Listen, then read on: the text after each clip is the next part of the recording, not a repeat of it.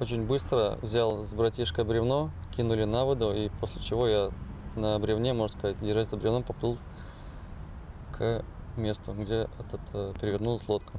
В тот день стояла прохладная и довольно ветреная погода. Выпавший из надувной лодки рыбак был без спасательного жилета. Забраться обратно на плавсредство он не мог и просто держался за него. Происходило это примерно в 100 метрах от берега. У него уже практически не было сил, он уже не мог почти шевелить ногами и держаться уже не мог, потому что, наверное, слишком холодно было. Ветер холодный плюс волны. Сергей рассказывает, что и сам очень испугался, когда увидел, что мужчина уже отчаялся и начал говорить о смерти. Когда я его вытащил, В лодку, да, да, в лодку затащил, можно сказать, может, минут 10 с ним только лежали, потому что сил конкретно не было уже и оба замерзшие.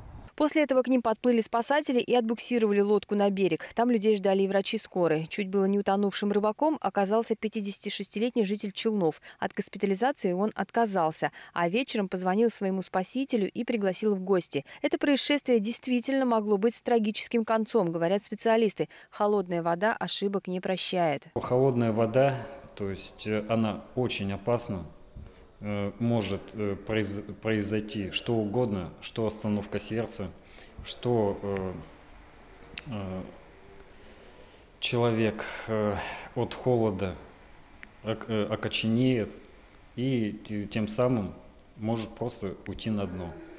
Начнутся судороги, человек просто не сможет выбраться из воды. Поэтому без спасательного жилета даже не стоит и думать выходить на воду. С ним, по крайней мере, есть шанс выжить в случае ЧП. А лучше не рисковать здоровьем и рыбачить с берега.